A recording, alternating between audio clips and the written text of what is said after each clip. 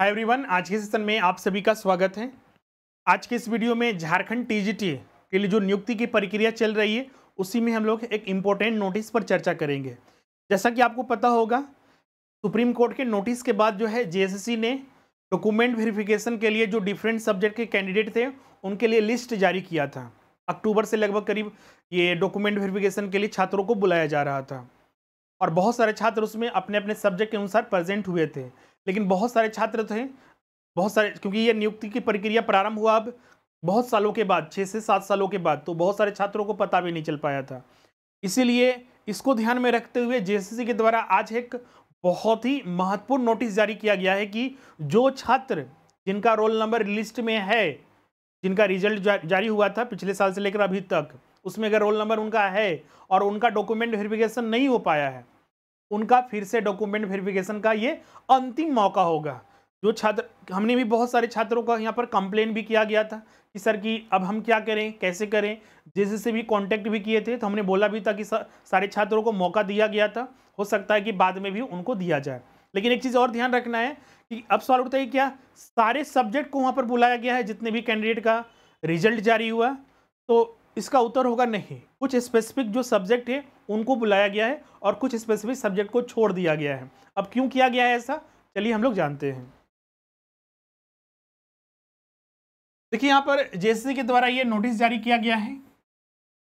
JSC ने notice जारी करके ये कहा है कि जो इनके द्वारा रिज़ल्ट जारी हुआ सुप्रीम कोर्ट के निर्देश के बाद 11 अक्टूबर 2022 या उसके बाद जिन छात्रों का वेबसाइट पर अनुक्रमांक जारी हुआ। और उनका डॉक्यूमेंट वेरिफिकेशन नहीं हुआ मतलब कि वो अनुपस्थित अभ्यर्थी। अब अनुपस्थित बहुत सारे कारणों की वजह से हो सकता है तो स्पेसिफिक कारण नहीं है कि नहीं, हमको पता ही नहीं चल पाया। मतलब कि वे सारे कैंडिडेट जिनका रोल नंबर है और किसी भी कारणवश वो डॉक्यूमेंट वेरिफिकेशन नहीं करा पाए, उन सभी को मौका दिया गया है। लेकिन हाँ इनमें कुछ विषयों को छोड़कर, क्योंकि जेएसएससी में देखिएगा टीजीटी में बहुत सारे सब्जेक्ट थे। तो क्या सारे सब्जेक्ट के छात्रों को बुलाया गया है? तो इसका उत्तर होगा नहीं। तो कौन, किन किन सब्जेक्ट को नहीं बुलाया गया है? उसको भी मेंशन है और किन सब्जेक्ट को बुलाया गया है? उनको भी मेंशन किया गया है। जैसे कि देखिए कि यहाँ पर, हो सब्जेक्ट कोठा, मुंडारी, पंचपरगिया, संथाली, ओरिया कुरमाली खड़िया और कॉमर्स। बाकी तो सारा रीजनल लैंग्वेज है झारखंड का और ये कॉमर्स लेकिन स्पेसिफिक है। मतलब कि इन सारे छात्र अगर अनुपस्थित भी थे तो इनको नहीं बुलाया गया है। मतलब कि इन विषयों को छोड़कर, बाकी के जितने भी अन्य विषय के सब्जेक्ट के जो जिनका रोल नंबर जारी हुआ और वो डॉक्यूमेंट वेरिफिकेशन में शामिल नहीं हो पाए, उनको बुलाया गया है कब? 12 अप्रैल 2023 को। अब सवाल उठता है कि बाकी के कौन कौन से सब्जेक्ट हैं? तो अरबी, Bangla biology and chemistry economics English Farsi geography Hindi, history and civics home science Kurukh mathematics and physics music Nagpuri physical education Urdu और संस्कृत। मतलब कि इन सारे छात्रों को बुलाया गया है, जो अनुपस्थित हैं डॉक्यूमेंट वेरिफिकेशन में। रिज़ल्ट आया, लेकिन वो डॉक्यूमेंट वेरिफिकेशन की प्रक्रिया में शामिल नहीं हो पाए थे। तो इन्हें, इन सब्जेक्ट के छात्रों को बुलाया गया है, इनको नहीं बुलाया गया है। बहुत सारे छात्रों के मन में सवाल उठेगा कि सर कि मेरे साथ इतना गलत क्यों कर रहा है जेएसएससी कि हम लोग को नहीं बुला रहा है, इनको बुला रहा है? देखिए, यहाँ पर नंबर ऑफ़ सीट पर भी डिपेंड करता है वैकेंसी पर भी डिपेंड करता है। हम यहाँ पर अनुमान लगा के इस आधार पर बोल सकते हैं जेएसएससी उसके रिगार्डिंग यहाँ पर कुछ बोला नहीं किया है कि हम इन्हीं को बुलाएँगे, इनको नहीं बुलाएँगे। तो एक अनुमान लगा सकते हैं कि हो सकता है कि इन सारे कैंडिडेट जो पोस्ट है, वो वैकेंट अभी भी रहे। जितने भी नंबर ऑफ़ कैंडिडेट का जो डॉक्यूमेंट वेरिफिकेशन हुआ, वो पर्याप्त नहीं था, इसीलिए इनको बुलाया जा रहा है। इनका हो सकता है पर्याप्त हो गया है तो इसलिए इनको नहीं बुलाया जा रहा है।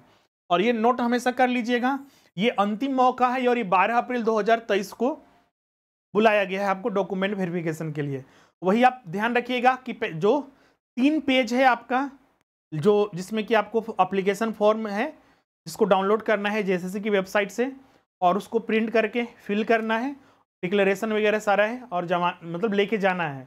इसके अलावा अपने साथ जितने भी एजुकेशनल क्वालिफिकेशन है, कोई रिजर्वेशन का सर्टिफिकेट या फिर कोई भी अदर सब्जेक्ट है, सभी को लेके जाइएगा। टेंथ, ट्वेल्थ का, ग्रेजुएशन का, इसके अलावा एडिशनल जो डिग्री है, जैसे कि बीएड वगैरह एमएड पीजी तो उनको भी लेके जाइएगा, जिससे कि कोई असुविधा आपको डॉक्यूमेंट वेरिफिकेशन के समय न हो।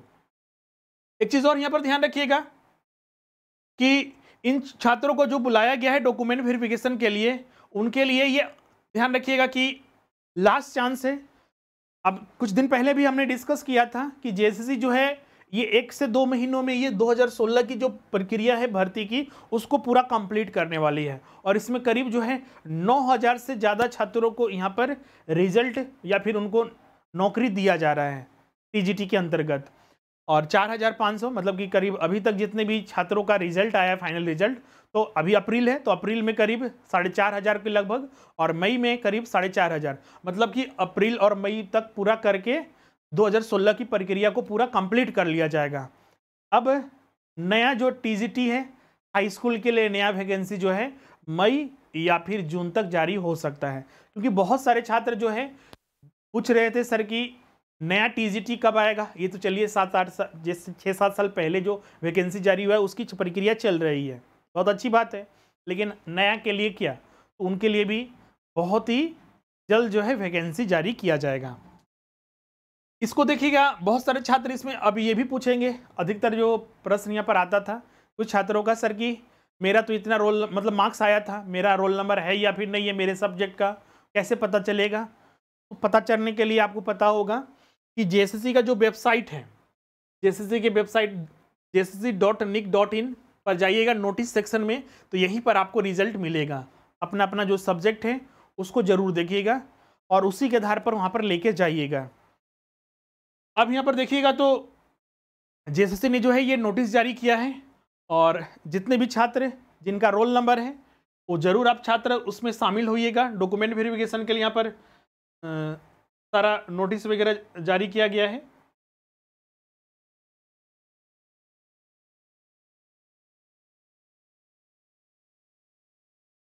ये सारा लिस्ट आप देख सकते हैं, उसी से संबंधित है।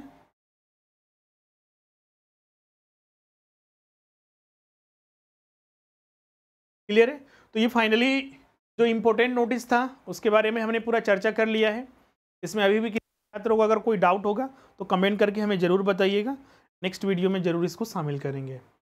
और इसके अलावा जो छात्र आने वाले जो नया टीजीटी वैकेंसी है, आपको पता होगा पीजीटी की वैकेंसी जारी कर दिया गया है।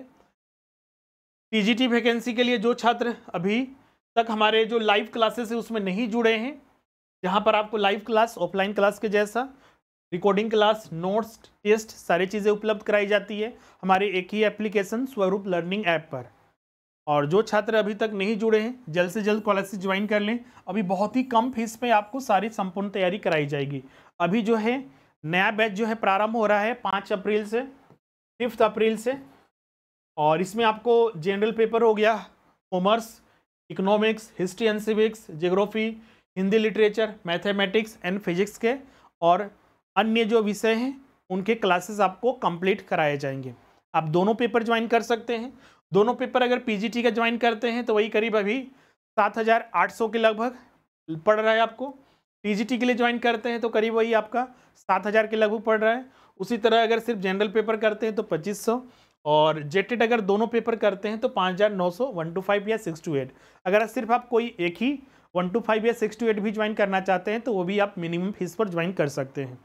कोर्सेज ज्वाइन करने के लिए जो हमारा अप्लीकेशन है स्वरूप लर्निंग ऐप जिसे आपको गूगल प्ले स्टोर से डाउनलोड करना है और वहीं पर स्टोर में जाकर कोर्सेज आप परचेज कर सकते हैं। या फिर स्क्रीन पर जो नंबर दिख रहा है, उस पर भी आप कॉन्टैक्ट करके आप अपना एडमिशन ले सकते हैं। और जितने भी छात्र हैं, पहले ही हम बता चुके हैं कि भले ही झारखंड में देरी से रिज़ल्ट आए एग्ज़ाम हो, चाहे जो विभिन्न प्रक्रियाएँ उसको पूरा किया जाए, लेकिन अंत में रिज़ल्ट आने के बाद नौकरी मिलती ही है। अभी देखिए, मान लीजिए टीजीटी भले ही 2016-17 की वैकेंसी है 2023 में नौकरी दी जाएगी। लेकिन अंत में नौकरी तो मिला कम से कम। और मान लीजिए आपका, अगर हम उस समय भी तैयारी, जो मान लीजिए, वो सारे छात्र जो 2016-17 में तैयारी नहीं किए, कि नहीं, झारखंड में तो ऐसे ही वैकेंसी आती रहती है, तैयारी करने का कोई फ़ायदा नहीं है कैंसिल हो जाएगा तो ये हो जाएगा।